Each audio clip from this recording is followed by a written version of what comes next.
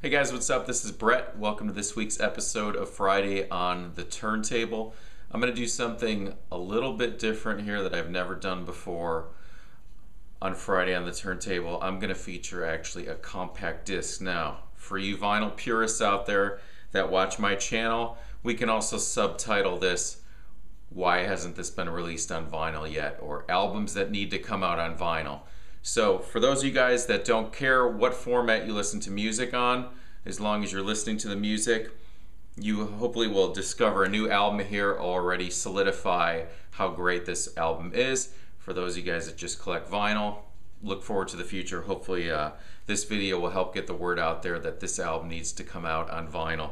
So today I'm talking about, well this is, um, I've talked about this album several times in the past, and it was spurred by a conversation between a couple of my friends uh, in the vinyl community, Robbie Olavox and uh, Mr. Staff Sowell John, and uh, talking about psychedelic furs. And I brought up the album Richard Butler, uh, the singer of the Psychedelic Furs, his first and only solo album, which came out in 2006.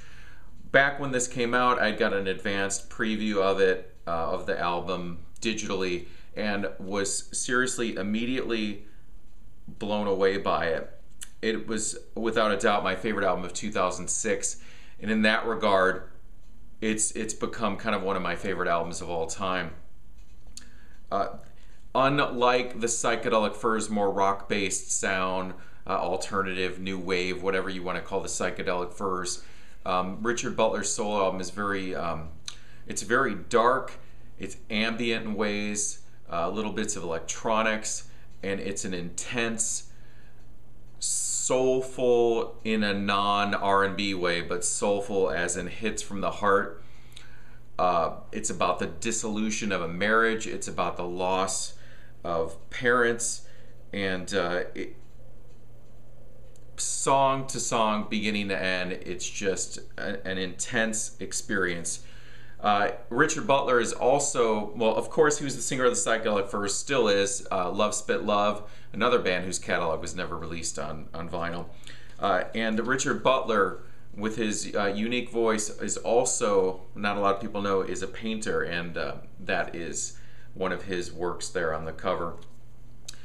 This album was co written by a guy named Jon Carin, who has worked with many people, um, most notably his work with Pink Floyd in the later era, post Roger Waters, so uh, Division Bell, Momentary Lapse of Reason, and a lot of the other um, live albums and such. After that, he worked with Roger Water, not David Gilmour and soul albums.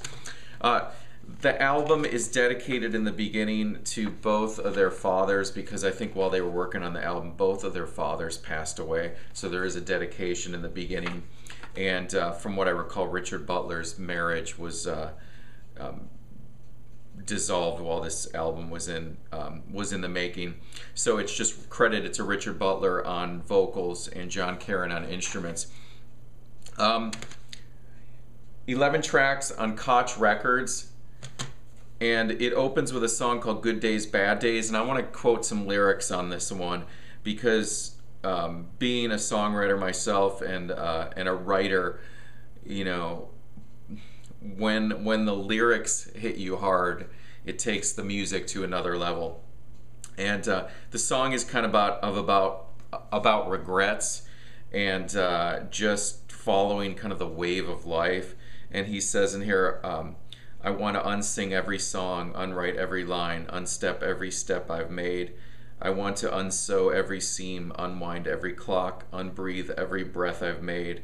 I want to unset every sun that my eyes fell on, to give till I give back all I've won. Good days, there'll be bad days. Um, California, another track on here, another one of my favorites. Um, you know, when the coast of California sinks into the ocean, it's just about the future. It's it's about a breakup, and it's just about how the world moves on, perhaps. And uh, and there's a line that says, you know, when the coast of California sinks into the ocean, et cetera, et cetera, no one will answer you when you call. It's just, it's intense. Breathe is great. Uh, milk, broken airplanes, nothing's wrong. Uh, Richard Butler really explores his falsetto on this album. Phenomenal. This is somewhat difficult to find. I was fortunate after I'd gotten it digitally back on eMusic, I think back uh, before it came out. And I was lucky to find a copy of the CD, and I'm always out looking for it to try to find copies in the used bins to uh, buy to send to friends, and I never find it. So, and I and I checked on Spotify to see it was available, so I could post a link. It's not. So, look up Richard Butler on YouTube, Amazon, whatever, eBay, get this album only on compact disc.